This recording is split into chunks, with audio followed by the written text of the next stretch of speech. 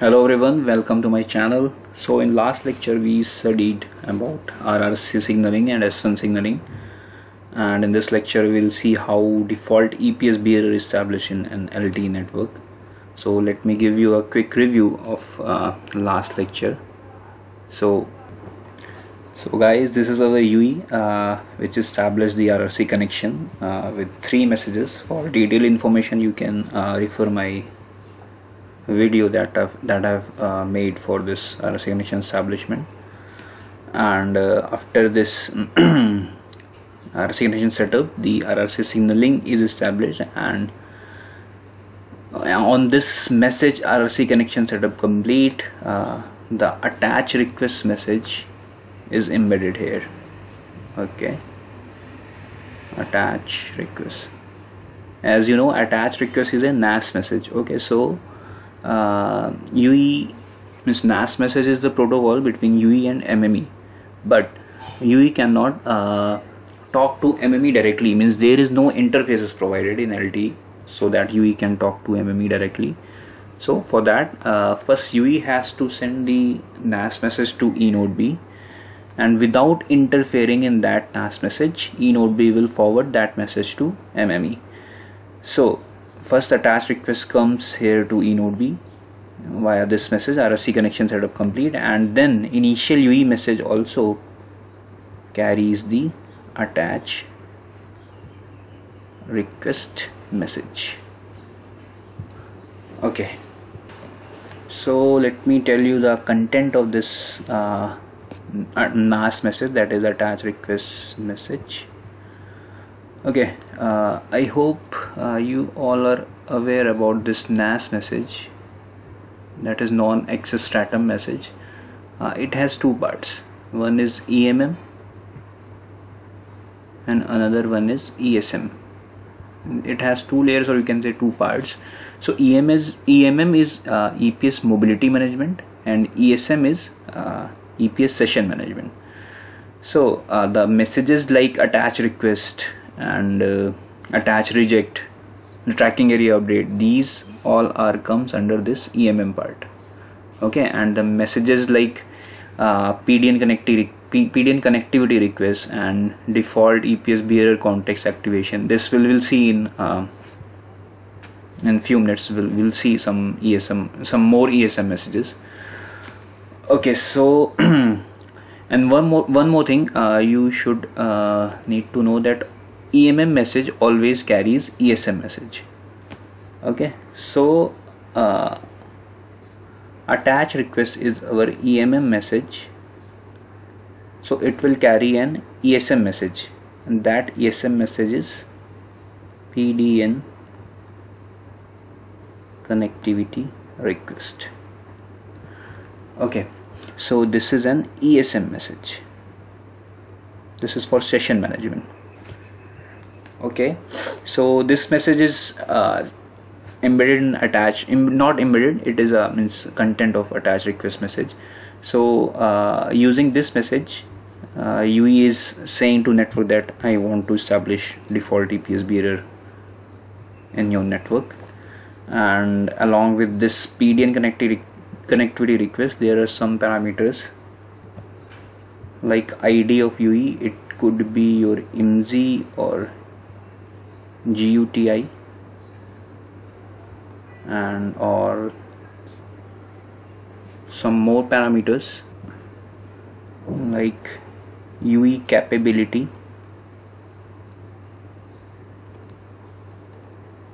in UE capability uh, UE tells network means what are the capabilities of this UE like what band it supports what uh, technology or you can say RAT it supports 2G 3G or 4G and also what ERFCN's bands okay so these things are there in capability.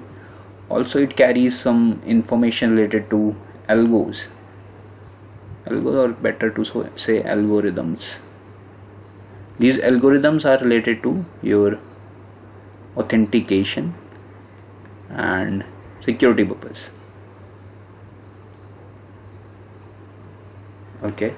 So some algorithms will be there and and ECGI will be there. Tracking area identity will be there. Okay. And one more thing uh, that is your E node B UE S1 APID will be there actually MME is dealing a lot of UE so to identify a particular UE this ID is required. Okay so these are the important parameters of attach request message. And the same parameters will be present here as well. 1 2 3 4 5 6 2 3 4 5 6 same parameters are present in this attach request message so finally MME received the attach request message. Okay so now what MME will do? Uh, MME will perform some tasks like authentication. Authentication. Okay so you can say this is the second part. First part we have uh, performed in we studied in last lecture that is we call it IMSI acquisition. IMSI acquisition where RRC signaling and S1 signaling uh, has been established. After that authentication takes place and after that uh, NAS security takes place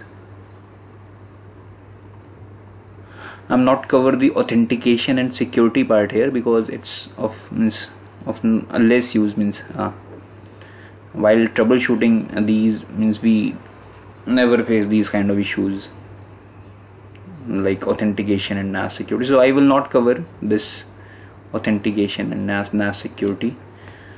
And after this uh, NAS security uh, that location update takes place location update. This we will cover in this lecture. And after that EPS session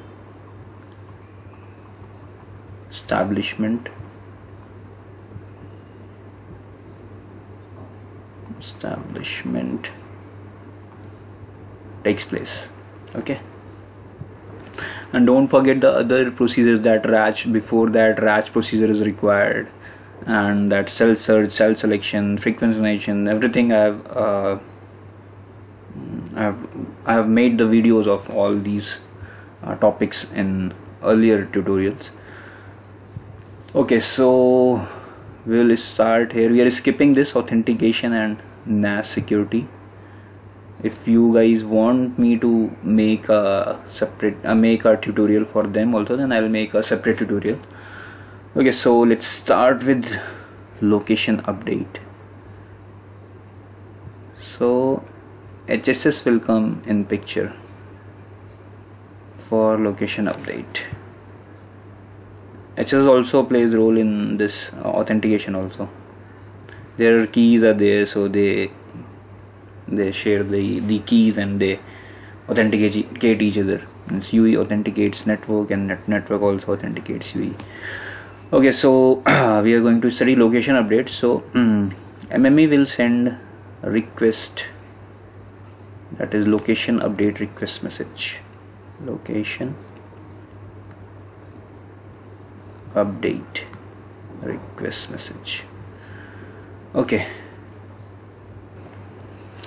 In this message uh, MME includes uh, parameters uh, like IMSI IMSI of the UE and also the MME ID so you can say MME is uh, telling HSS that, that uh, UE of this IMSI will now the means uh, part of mm, means my MME means you can say MME is responsible. Means uh, MME is the core part of a network. So you can say MME is telling HSS that this IMSI is uh, now under my tracking area you can say because tracking areas are also related to MME okay so in response the HSS will send location update response message. Location update response. So HSS is acknowledging whatever the MME is telling to HSS and along with this acknowledgement. It will uh, share some information. It sends IMSI also it sends subscribed APN I'll tell you about APN subscribe APN and subscribed PGW ID and also subscribed quality of service parameters. Quality of service parameters uh, I'll make another separate lecture on this. It is QCI ARP and uh, AMBRs APN AMBRs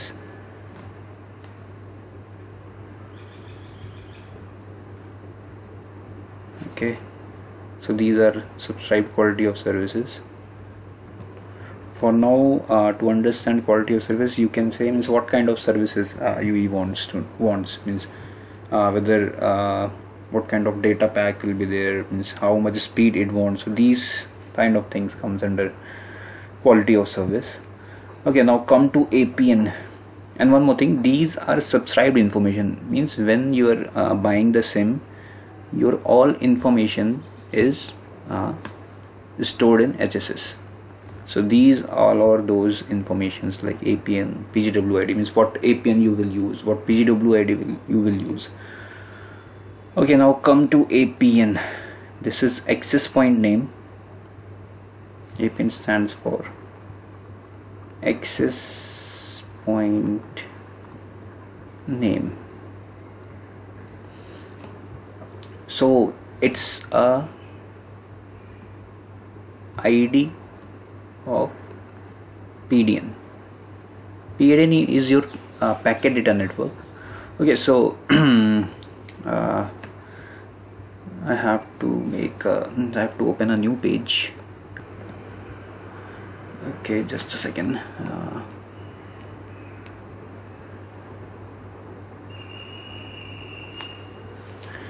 so suppose this is our LTE network okay?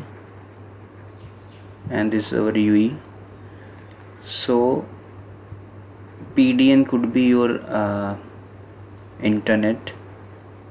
If you want to use internet or you if you want to browse the internet then you will use internet PDN or if you want to use VoLTE call, then your PDN will be of IMS okay okay so so it's outside it's a entity which is present outside LTE network. Okay?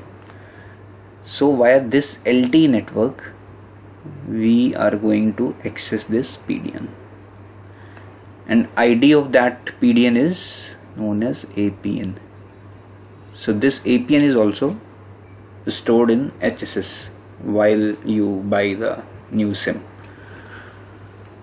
okay so we are finishing this lecture here and in next lecture uh, we will continue our topic. Okay thank you